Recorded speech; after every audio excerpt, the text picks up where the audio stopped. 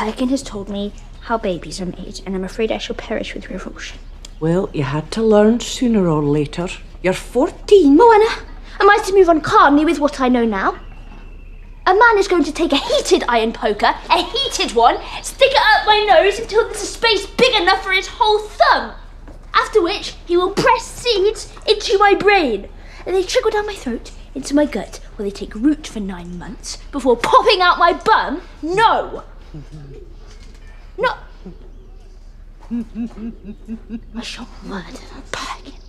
I shall murder him, Morwenna, and he will bleed worse than if I was to stick a spike of his.